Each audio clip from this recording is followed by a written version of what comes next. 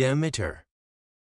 She is the sister of Zeus and is said to be an earth goddess with golden hair as beautiful as autumn grain. Unable to contain his lust for the beautiful Demeter, Zeus rapes her. Then a daughter is born to them. Her name is Persephone.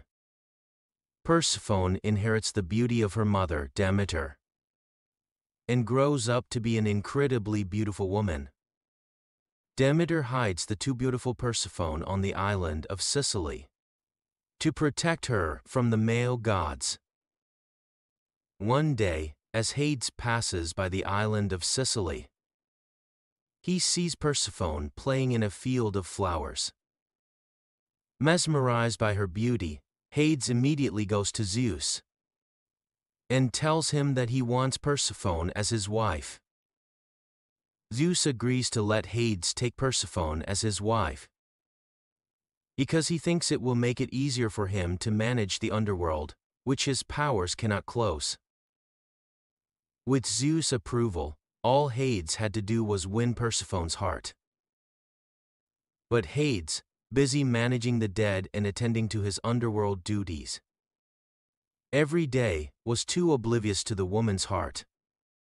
So Hades asks Zeus, the womanizer, for advice. You don't have to win a girl's heart. You just have to kidnap her. When Hades hears this, he kidnaps Persephone for himself.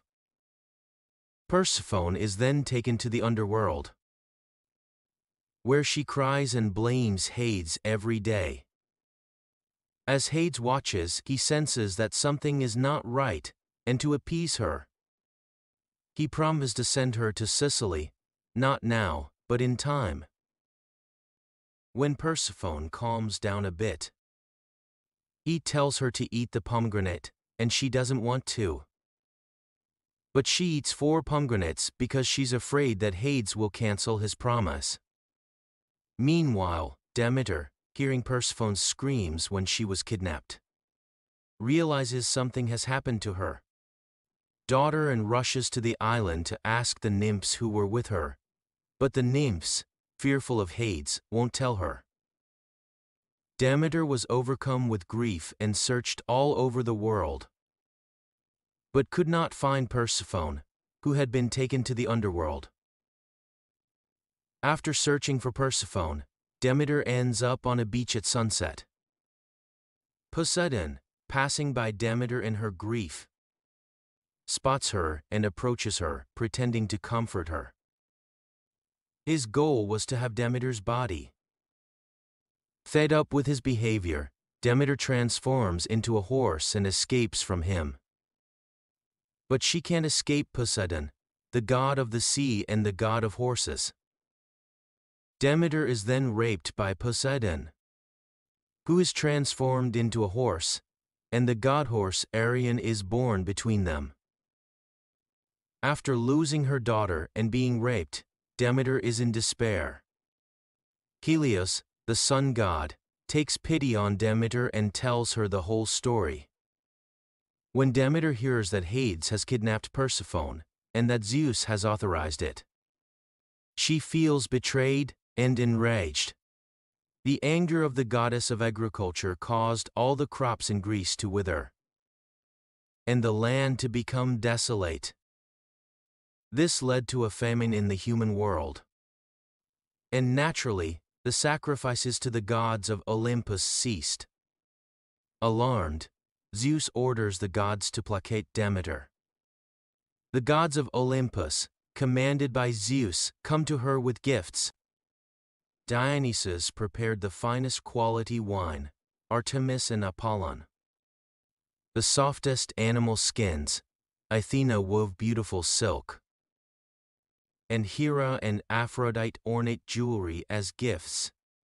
Demeter, however, informs Zeus that if he does not return her daughter, she will make sure there is not a blade of grass in all of Greece. Eventually, Zeus summons the messenger god Hermes to meet Hades and bring back Persephone. Eventually, Zeus, through Hermes, tells Hades to return Persephone to Demeter. Hades, hearing this, smiles evilly and says to Hermes, I'm sorry, but she's already eaten the food of the underworld, and according to the rules of the underworld. She's already a person of the underworld. Hades made Persephone eat a pomegranate to keep her by his side. But even Hades couldn't keep her around forever. She ate four pomegranates, so she could be the wife of Hades for four months of the year. And be with her mother the rest of the time. So the four months Persephone was in the underworld became winter, when no grain grew on the ground. And then when Persephone met Demeter, it became spring when grain grew on the ground.